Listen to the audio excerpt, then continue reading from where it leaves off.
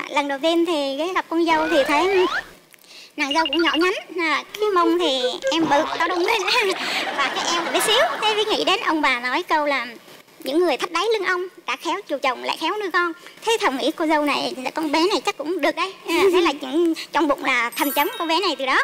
À rồi dáng vóc là đúng luôn ha À, xin chào MC Lê Lộc, em xin chào MC Quỳnh Linh, xin chào quý vị khán giả cùng toàn thể các à, bạn đang xem theo dõi trước màn ảnh nhỏ. Tôi tên là Bùi Thị Ngân, tôi đến đây từ Bình Phước. Năm nay tôi đã 48 mùa xuân xanh, tôi còn thiếu 52 mùa xuân già nữa là tôi chọn 100 mùa xuân ạ. dạ xin mời chị giới thiệu về mình ạ Dạ em xin chào anh Quyền Linh, em xin chào chị Lê Lộc ạ Và em xin chào à, quý vị khán giả ạ Dạ em tên là Viên Ngọc Bảo Trâm Dạ em đến từ Lâm Đồng ạ Hiện năm nay thì em à, 28 tuổi chị ạ. Mình ờ, làm dâu của mẹ được bao lâu rồi chị hả? Dạ tính tới ngày hôm nay luôn á. Thì em làm dâu của mẹ được à, 8 năm, 8 tháng và 6 ngày rồi ạ. Wow. Chắc chắn là mình có em bé nhỏ rồi đúng không? Dạ hiện à, năm nay thì em có một bé trai, bé 5 tuổi rồi chị ạ. Dạ. à Ủa sao mẹ là ở Bình Phước là con là ở Lâm Đồng? Dạ thì um, tại vì là hai à, bé là lúc đầu là có quen nhau trên mạng nhưng mà bên mẹ chồng của em thì cũng ở Lâm Đồng. là có một dịp tình cờ thì sang thăm mẹ chồng ở Lâm Đồng thì à, con trai mới nói mẹ ơi con có cũng có cô bạn ở bên này thì mẹ à, ba mẹ ghé lên thăm bạn con chút xíu được không? Thế bảo ừ, thôi cũng tôn trọng ý kiến con thì cũng lên thăm vì nghĩ là bạn thôi thì cũng lên danh Bảo Lộc để thăm con dâu bây giờ lúc đó là bạn. à, lần đầu tiên thì ghé gặp con dâu thì thấy nàng dâu cũng nhỏ nhắn. À, cái mông thì em bự to đùng lên. Và cái eo bé xíu. Thế mới nghĩ đến ông bà nói câu là những người thắt đáy lưng ông đã khéo chiều chồng lại khéo nuôi con. Thế thầm nghĩ cô dâu này con bé này chắc cũng được đấy. À, thế là những trong bụng là thầm chấm con bé này từ đó. À rồi dáng vóc là đúng luôn ha. Yeah. như ông bà ta xưa nói rồi. Vậy thì chị có ấn tượng gì mà khi lần đầu tiên gặp mẹ chồng không Dạ, à, lúc đầu tiên gặp mẹ chồng thì lúc đó em còn đi học đó chị À. à. Em học lớp 12 á à, Lần đó là chồng em, à, hai chồng về nhà thăm ba mẹ Thì chồng em có à, chạy ra à, ngồi chơi với bạn bè một chút Thì em ở nhà một mình với mẹ Thì à, mẹ thấy ngồi lâu quá vẫn chưa thấy chồng em về Để em ngồi mẹ cảm giác như để em bơ vơ nhà đó À. Dạ. Cái mẹ em mới gọi điện Em nghe mẹ em gọi điện cái chồng em Mẹ có la chồng em. À. Em nghĩ trời sao thấy mẹ la con dữ quá. Không biết mẹ mẹ có khó, khó chịu không, có dữ không đây? Dạ. Thì à, lần đầu tiên vậy thôi nhưng mà trong suốt 9 năm em làm dâu đó thì chưa một lần nào mà em thấy mẹ lớn tiếng như vậy với em hết. Mình cũng làm tròn bổn phận làm dâu nên mẹ không có lớn tiếng đúng không? Làm dâu tốt không cô? Tại vì là con dâu thì à, tôi rất là thương con dâu. Thế nên là nhân qua chương trình thì tôi cũng à, xin có một bài thơ gửi tặng con dâu và cũng à, tỏ lòng cảm ơn chị xui. Dạ là tựa đề bài thơ là thương nàng dâu. Thương lắm nàng dâu yêu của mẹ. Dâu hiền, vợ thảo đã bao năm. Tháng ngày chung sống tình sâu nặng. Thương lắm con yêu, kiếp đàn bà. Thương chồng nên vợ phải héo hon. Thân gầy, con nhỏ già hơn tuổi. Dù nghèo, cuộc sống vẫn chung đôi. Thương lắm nàng dâu chị xui ơi gia đình nuôi lớn để tặng tôi giang vòng tay lớn tôi đón nhận. Như phước lộc trời đã ban cho. Xin cảm ơn ạ. Bà xui nghe chắc bà mát lòng mát dạ lắm đúng không? Thì thông qua chương trình thì em cũng gửi lời xin cảm ơn anh chị xui đã cho em một cô dâu hiền vợ thảo mẹ quá dễ dàng với mình vậy thì không biết những cái đầu làm dâu có gặp khó khăn gì không chị? Dạ thì um, em uh, hai mẹ con em thì cũng hơi đặc biệt. Đó là uh, lúc mà hai đứa em còn quen nhau từ hồi lớp 8, lớp 9 đó chị thì bạn bè thôi. Sau đó về nhà thì uh, ba mẹ cảm thấy uh, năm lớp 12 về nhà thì ba mẹ cảm thấy là gần gũi lắm. Thì mẹ muốn nhận ngỏ lời muốn nhận em là con nuôi. Thì lúc đó em thấy gia đình mẹ cũng rất là gần gũi thân thiện. Thì em cũng nhận làm con nuôi của ba mẹ dạ những ngày đầu về làm dâu á thì um, có cái chuyện là mới mới lần đầu về á thì uh, ba chồng em có nói là mua hộp vịt lộn về nhà ăn. Dạ thì mẹ mới uh, nhờ em ra ngoài chợ mua chục cái vịt lộn về nhà luộc. Thì em luộc lúc đó em sơ ý quá em quên mất để thấy khói khói nghi ngút trong nhà bếp hết. Cái um, hai mẹ con đứng đó thì ba chạy xuống qua hỏi bộ ai luộc hộp vịt lộn cháy hết rồi? Lúc đó em run quá chị. Em mới về nhà em lụa hột lộn cháy nữa. Em run quá. Cái em không biết trả lời bà làm sao hết. Mẹ mẹ đứng bên mẹ kêu à, là em luộc đó anh. Dạ, em em mừng quá. Em em im lặng luôn. Mẹ nhận lỗi giùm em luôn. Trời dạ. ơi. Mẹ, tâm lý ngày đầu tiên là thấy khỏe rồi ha. Dạ. chắc chắn sau này sẽ có người à, mình dựa hơi rồi đó. Nhưng mà sau đó thì cái công việc à, gia đình của mẹ thì em làm cái gì trong nhà hàng ngày dạ thì à, mẹ em thì ở bình phước, hai vợ chồng em thì đi sau khi à, à, cưới nhau thì vẫn tiếp tục là đi học anh chị ạ dạ dạ năm em cưới là năm em học năm hai đó dạ thì hai vợ chồng vẫn quay lên sài gòn để mình tiếp tục công việc học tập Dạ thì em làm dâu của mẹ, em chỉ về nhà những dịp lễ Tết hoặc cuối tuần em về nhà thăm ba mẹ thôi. Ừ, lúc mà tụi em học xong đó, thì cái khoảng thời gian đó em có về nhà ở với mẹ, làm dâu mẹ 2 năm mà mẹ có nhờ con dâu ơi cắm giúp mẹ nồi cơm. Thật sự là hai năm trời em cũng không biết cái lu gạo nhưng mình để đâu nữa. Dạ. Thế là em mới ờ, giờ không biết phải làm sao đây.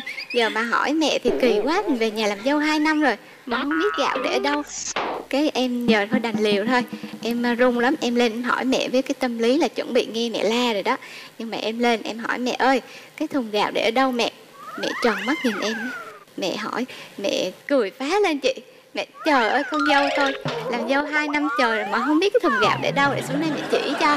Giờ lại vui vẻ lắm chị. Dạ. những cái chuyện gì mà hai mẹ con hợp nhau nhất? Dạ thì hai mẹ con em là trước giờ đi đâu cũng có nhau hết. Trong mọi cái ý kiến mà à, em à, quyết định công việc gì em hỏi mẹ thì mẹ à, cũng đều đưa ý kiến Mà đó cũng là ý kiến mà em thầm nghĩ. Gu à, mặc đồ hay là mua sắm gì thì cũng giống nhau hết. Dạ. Cô thấy mình hợp với chị điểm gì nhất cô hợp với con dâu ạ. Con dâu á, ừm, có cái sự thủy mị mà một công việc gì là cũng đưa ra là cũng tâm sự với mẹ. Mẹ ơi con này con thế kia. Thế là mà cái điều gì con dâu đưa ra thì cũng tâm đầu ý hợp với mình. Có vẻ là hai mẹ con mình hợp tuổi với nhau phải không cô? Ừ, đúng rồi hai mẹ con cũng hợp tuổi em. À. Ủa giờ hai mẹ con coi bói không? Không không có coi bói. Nhưng mà ừm, có một lần thì ừm, bên này với à, đi thi bằng lái thì cô á ở trên tỉnh đi xuống thành phố thì bằng lái. Lái xe hơi lúc đó. Với bảo con ơi thôi thì con ra trường lái với mẹ đi. À, thế con dâu với bảo mẹ ơi thế rủ cả chồng con đi nhá. Hay là anh hai chở mẹ đi đi. À, thế bảo không mẹ muốn con đi ra thế là hai mẹ con chở nhau đi. À, lúc đó thì cũng không nói con dâu cái gì nhưng mà vào ờ, tôi thi ờ, trong đó thi xong rồi thì lúc ra là thấy con dâu vỗ tay nhảy lưng tưng lên mẹ ơi con mừng quá. À, mẹ trăm điểm luôn con mừng quá đi. Dạ. thế xong rồi với nhìn con dâu nó mẹ biết rồi. À, xong dâu có sao mẹ biết? À, xong rồi này cười cười nó phong thủy mà. Nên hai mẹ con hợp nhau lắm. Đi đâu cũng cứ có một con dâu bên cạnh mình. Là cái gì cũng hợp nhau cho nên là cảm tưởng như phong thủy vậy hợp với nhau luôn á. Hợp từ nụ cười từ cách tính toán rồi hợp nhau từ những cái niềm vui ha. Dạ. Vậy thì à, có cái việc gì mà không hợp nhau không có một à, điểm hai mẹ con không hợp nhau đó là mẹ em á cái khẩu vị ăn uống thì mẹ em thích ăn rau và thích ăn những cái món đơn giản thôi. Còn em thì em à, thích ăn thịt bò em thích ăn thịt. Dạ thì cũng có lần à, về nhà thì à, ở nhà thì mẹ cũng cứ bữa cơm ở nhà của mẹ thì mẹ cũng chuẩn bị à, theo như bình thường đó. Thì em về thì em mới thấy rau không à, à mặt em cũng buồn buồn em kêu "À, không có gì ăn hết ta em có nói nhỏ như vậy thôi. Nhưng mà mẹ nghe được thì lúc đó em không biết là mẹ có buồn em hay không. Nhưng mà em thấy mẹ ờ, đi vô phòng. Thì em đi vô phòng theo rồi em ôm mẹ em hỏi mẹ ơi con nói vậy mẹ buồn hả? Em mẹ kêu mà đâu có đâu con. Con con dâu mẹ ăn gì là mẹ đi mua cho con dâu mẹ ăn. Dạ thì cái chuyện đó là cái chuyện mà em cảm thấy là có một câu nói của em em nghĩ là à, mẹ có phần buồn. Nhưng mà dạ. Đối với cô thì cô có thấy mình chưa hợp với chị điểm nào không cô Ừ, chưa hợp với con dâu có một cái điều nhỏ duy nhất là con dâu thì lại quá nghiêm khắc với cháu nội. Mà tôi thì lại rất là thương cháu. Tại vì làm con dâu thì học mấy năm thế này, xong rồi quay về nhà thì cũng ở làm dâu mẹ hai năm ở nhà. Nhưng lúc con ra trường nó về hai năm thì xin được việc trên, ở trên bình phước á, rất là khó, cũng xin không được. Thế xong rồi con dâu với tâm sự với mẹ là, mẹ ơi thôi bên lâm đồng con mới xin được việc? Vì vậy mẹ cho con về lâm đồng được không mẹ? Xong bảo, mẹ tôn trọng quyết định của con. Cứ miễn là con vui, con đồng ý với cuộc sống con hả? Vui vẻ là mẹ vui rồi. Thế là ừ, sau đó là con về lâm đồng. Nhưng mà mỗi hè nào thì cũng sang đón cháu về. 3 tuổi là sang đón cháu về bên này ở hè với bà nội. Gần hết hè rồi. Cái ôm cháu nội nói là, bo ơi ừ, nội ôm bo mấy bữa thôi là bo phải về với mẹ rồi xong rồi bo nó ừm, nói lên câu của nội ơi nội đừng bắt con về mẹ mẹ đánh bọc con chết á. Trời ơi nghe mà nó sốt ruột. Đứt ruột đúng không Dạ. xong rồi sốt ruột thôi là chào nước mắt ra khóc luôn. Ôm cháu khóc. Xong rồi nó lại ừm, chèo lên lòng nó nói nội ơi nội đừng khóc. Sao nội lại khóc? Thế bảo nội thương con. Điện sang cho con dâu buộc con ơi? Thôi từ nay con bớt thôi cái nghiêm khắc cái dạy dỗ con cái này mẹ đứt hết cả ruột ra ừ, đứa con dâu nói sao? Dạ thì à, ông bà thương cháu, xót cháu. Dạ thì em cảm thấy cái đó là ông bà nào cũng vậy thôi.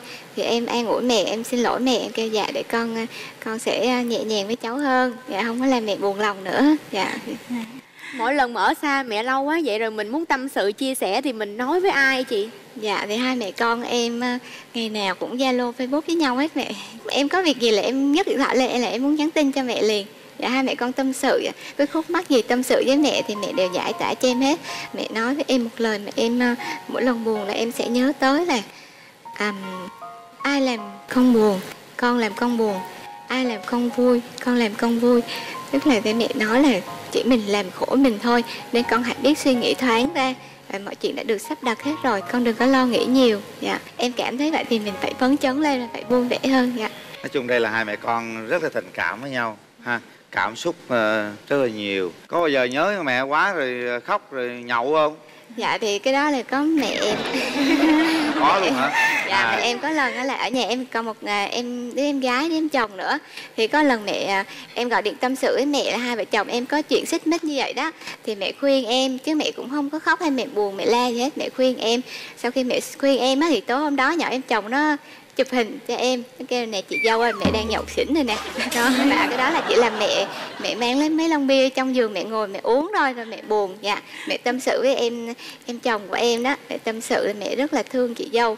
Lúc đó thì mẹ ở bên đó mẹ khóc em ở bên này em nhìn hình mẹ cảm thấy mẹ mình buồn nhưng mà cái nỗi buồn của mình lại mẹ còn đau khổ hơn rất nhiều lần nữa. Hôm đó lúc éo em dám gọi cho mẹ lúc đó đâu? Em sợ mẹ đang buồn đó nên em cũng nhận hình ảnh tin nhắn của em chồng em thì em để đó thôi rồi ngày mai em gọi cho mẹ. Dạ, em- hai mẹ con quá tình cảm như thế tốt rồi để xem chồng em tình cảm thế nào nha. Chồng em ờ, có gửi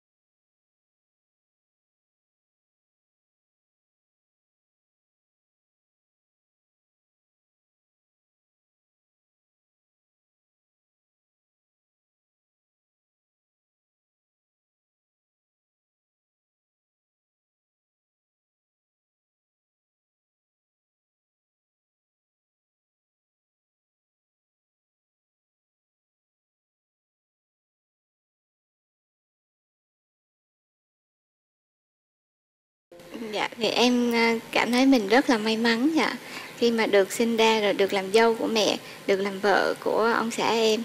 Dạ thì em à, cũng cảm ơn chương trình đã cho có dịp để gia đình em tâm sự với nhau.